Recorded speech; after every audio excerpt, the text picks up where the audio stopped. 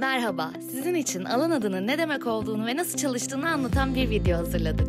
Alan adları, internet protokolü veya kısaca IP adreslerinin daha kullanıcı dostu bir hale gelmesi için oluşturuldu. Bir IP adresi, internet üzerindeki her bilgisayara ve cihaza atanan eşsiz bir sayı dizisinden oluşur.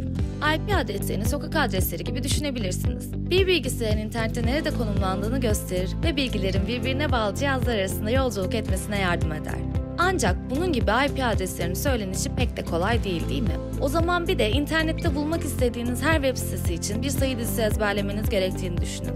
Hayır bunun mutlaka daha kolay bir yolu olmalı. Aslında tabii ki böyle bir yol var. Alan adı sistemi veya kısa adıyla DNS, GoDaddy.com gibi akılda kolayca kalan alan adlarını bilgisayarların iletişim için kullandığı IP adreslerine çevirir. Web tarayıcısına bir alan adı girdiğinizde, tarayıcı bu alan adını kullanarak doğru IP adresini bulur ve karşılığında sizi bu IP adresine ilişkin web sitesine yönlendirir. Böylece şu IP adresi yerine godaddy.com adresini hatırlamanız yeter. Çok daha kolay değil mi? Şöyle düşünün. Alan adı cep telefonunuzun kişiler bölümündeki isimler gibidir.